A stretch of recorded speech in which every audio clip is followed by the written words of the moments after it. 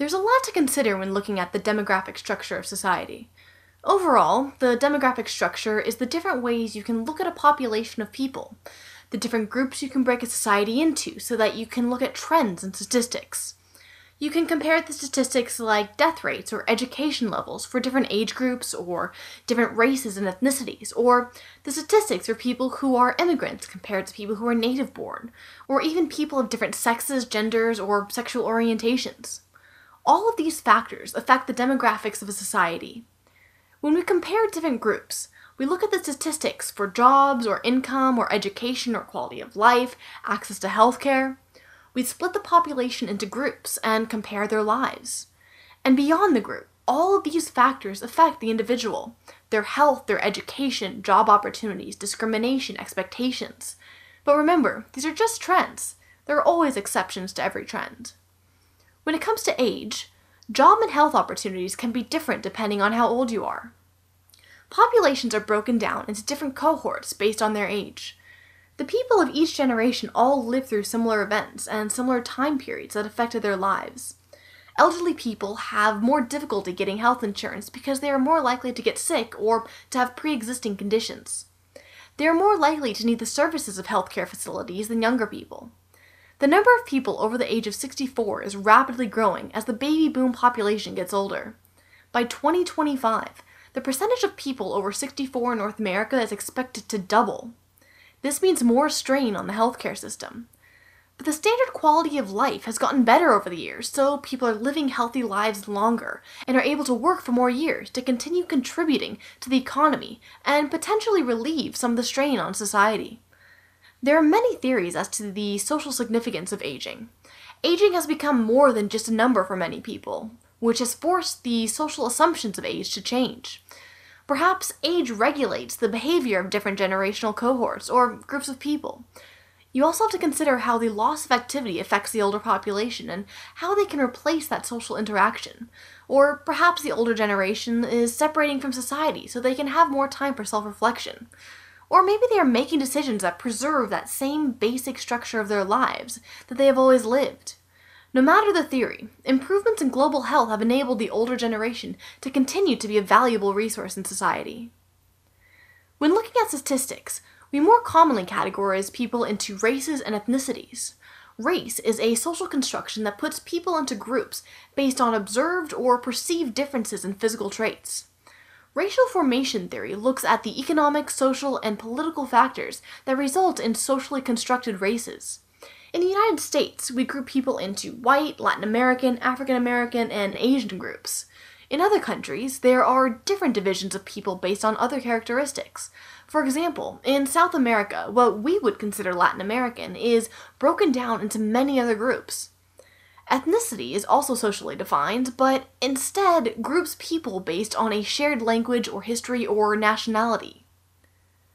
The definitions of specific racial and ethnic groups can change over time as the values of a society changes, and sometimes racial identities can actually be ascribed to a minority group, a process known as racialization. There are statistical differences between different racial and ethnic groups. Racial and ethnic minorities, except for Asian Americans, statistically tend to have bigger families, less access to healthcare, higher incarceration rates, lower paying jobs, and higher school dropout rates. Most of these differences come from the differences in education and easy opportunities afforded to different racial and ethnic groups. Immigrants often face discrimination in their host countries. Discrimination is the unjust treatment of a category of people simply because they belong to that category though some discrimination is based on race or ethnicity. The immigration process in many countries is easier for some ethnicities than it is for others. Much of the discrimination is based on an innate fear of anything different. The citizens of the host country fear the change that immigrants bring with them. Sometimes immigrants can overtax social services in certain areas if too many people move at the same time, and sometimes they can cause job shortages but they can also help the host country by providing labor in fields the native citizens don't want to do. People who immigrate looking for better jobs and better lives are often not as picky as the native citizens. Most of the people moving to a different country are immigrating into the industrialized countries of North America, the Middle East, Europe, and Asia. The fear of something different can cause discrimination between men and women, or discrimination of people's lives in general. Sex, gender, and sexual orientation are all an essential part of any society.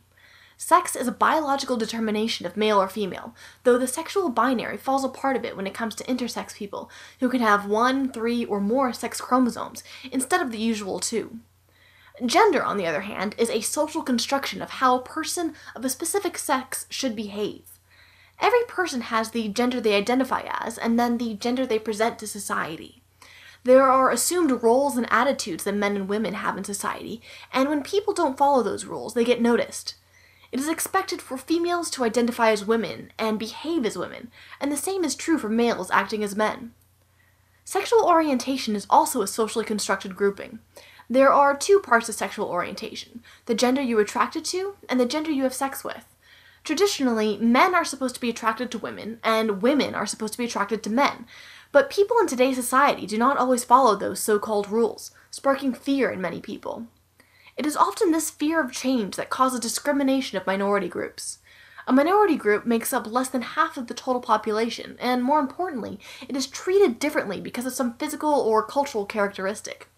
Ironically, even though women make up more than half the population numbers wise, they are treated as a minority with lower paying jobs and lower expectations than men.